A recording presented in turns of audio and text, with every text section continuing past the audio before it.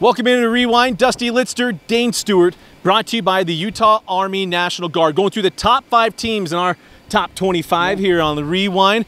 And then not only that, look out for the next video, the five teams to look out for outside the top 25. But Dane, Utah, Utah Army National Guard, new partnership that we have, yeah. the big sponsor here on uh, the Rewind. And one of the great things about the National Guard is there are other ways of learning jobs, but not only that, how about some signing bonuses?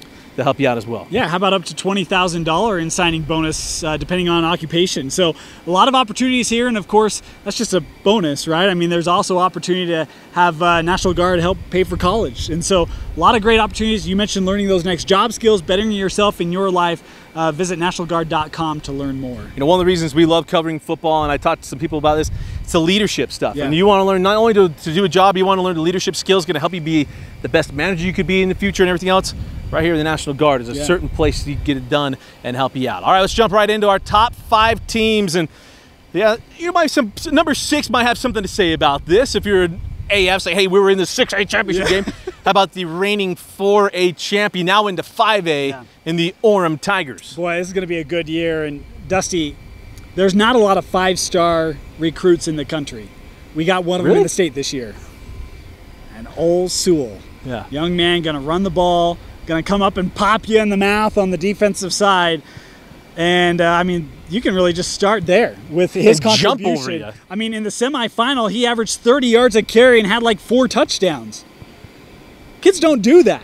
So get out to Orem this year. Go check out an Orem game. Very few opportunities to see a player of his caliber in the state of Utah. And believe me, I think Orem's going to rely on him a lot. How about one of the best offensive linemen in the state in Salmatia?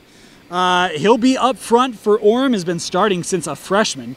But then you look at Tui Savura, uh, looking like he'll be quarterback there. Uh, they've got a couple of other guys that are in the mix for that starting job. Uh, but when you look at Orem, Dusty, it is all going to be about the young man Sewell this year. Well, absolutely. I mean, isn't it amazing? You have Puka Nacua, one of the top wide receivers in the yeah. country, and then next year at the same school, you got the top one of the top recruits in the country. Yeah. Literally, a young man that could say, um, "I want to go here," and they go, "Okay."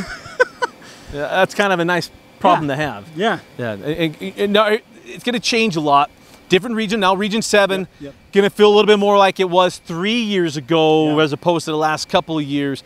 Very interesting. I know most teams, most people in the state who cover and watch high school football, very interested to see what happens with Orem. Yeah. Like they got to go through more of a gauntlet, and certainly going to see that. How about number four? This is a team normally in the top two in the last few years, but yeah. we got to figure them out, and that is number four, and maybe give them a little bit of bulletin board material. There's a certain coach with the red beard. Yeah. I know he's going to do that, and that is uh, the East High Leopards coming in at number four. You can text us and give us guff over this one, Coach, but uh, you look at East. This is a team that got so banged up last year. At one point, I think they were on their sixth string quarterback. Right. Isaac Zimmerman started that playoff game against PG. Looks like he's going to be the starter this year. Lengthy kid, a little bit different uh, mode of quarterback is what they've had in the last couple years. How about this? Coach Matich realized, hey, we, we maybe need to re-examine how we're doing some things. They participated in sevens tournaments this year. Dusty. I mean, now look, we're not saying they're going to go spread. Coach Matich's like, we're still going to run the football a little bit, but Zimmerman, a young man that can throw the ball a little bit, and so it'll be interesting to see what that East offense looks like this year.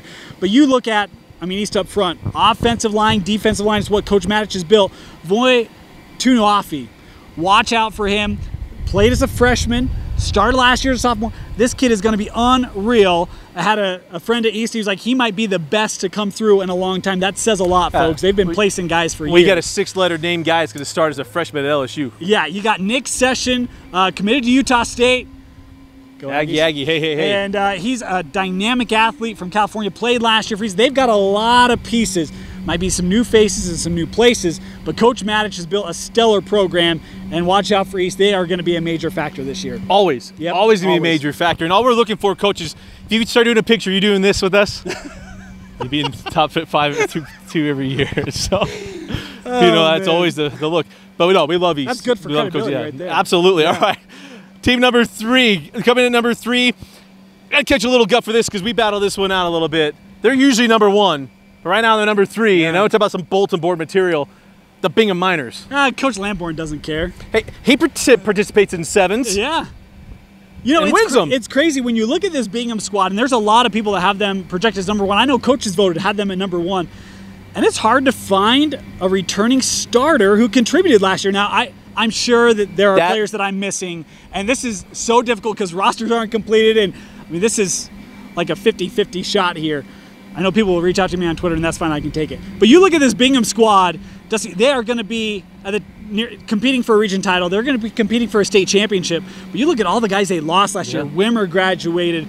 Uh, Whistler obviously got hurt. They didn't play with him for most of the year. Samote Pepa. But Longy, Atta, Hamilton. I mean, the list is long of players that Bingham lost last year. It's been a stellar program in this year. It's dominated the state for the last 10, 15 years. Yep. Bingham's going to be just fine. But when you look at some of the teams ahead of them and the talent they return, Bingham, here's your bulletin board. Go out, prove us wrong.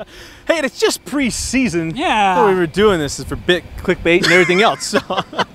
but we know it. Coach Lambourne, and here's the thing these five teams make up the top two classifications, but we expect every one of them to compete yeah. for the championships in each of their classifications. Yeah. Yep. So I'll take it for what it is. All right, number two. Now this is really where we battled this yeah, out. Yeah. Yeah. I'll let him win Dusty's on some still things. Yeah. No, I'm not. I know where I'll go. Hey, about number two. Yeah.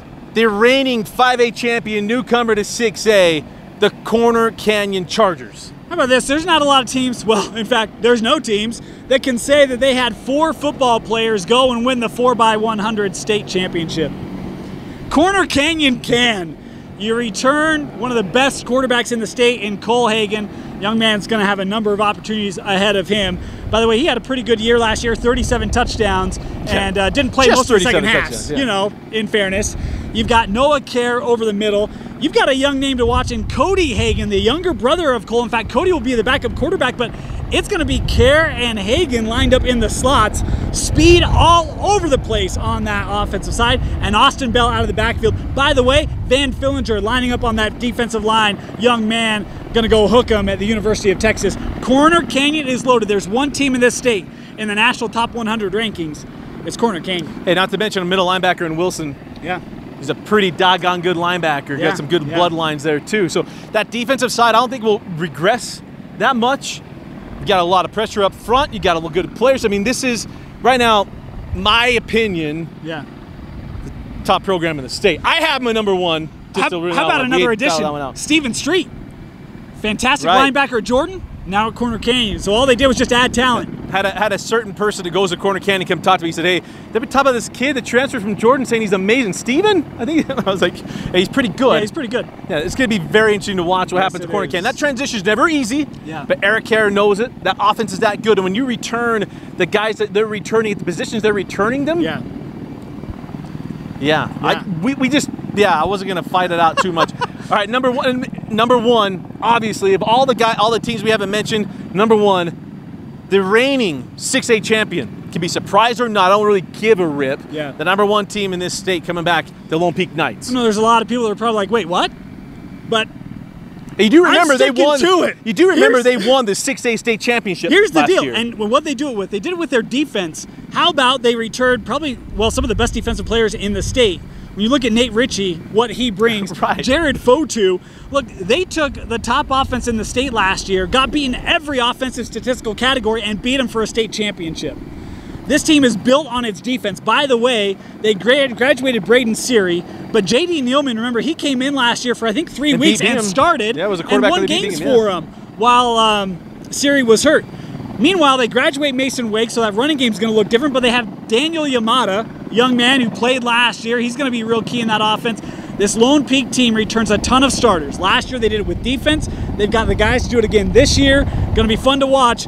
Battle for one and two. Our debate going to be proved in region play. That's yeah, going to be the best thing of this whole thing. How awesome is that? You know, a lot of region yeah. games are going to decide this, and all that. The RPI will make a bunch of different decision yep. as well. But here's another name to look out for: John Henry Daly. Yes. Remember, we yeah. talked to Mr. Michael Daly. He Said, "Hey, we, you know, you won my stuff, but everybody else is worried about my brother. Thinks he's better." Uh, you got a great defensive coordinator in Ryan yeah. Denny. He knows exactly what he's doing. You got John Daly, uh, John Henry Daly, going to be really, really good. But a name that's also leaving makes sure we mention too. Uh, it's looking back, and that is Kobe Freeman being gone. They got to yes. replace that yeah. too. Yeah. So it'd be very, very interesting. But when you look at Coach Bart Brockbank, win a state championship, get things going. The biggest thing, and he talked about the complacency. He doesn't think he'll see it, but the biggest change is can you get that chemistry back? Yeah. They lost that game at AF, all the white helmets, all the things and then he turned it. They turned it around as a team. Yeah. It is a leadership. What can you do? That is what's going to tell you the difference in this program. Do you have it built when that leadership's there? That's what Bingham has. That's what East has. Can Lone Peak put that together? Yeah. That's going to be the biggest change. Can, to continue to be that team up at Rice-Eccles Stadium playing in that 6A championship game. Yeah. Do you have it?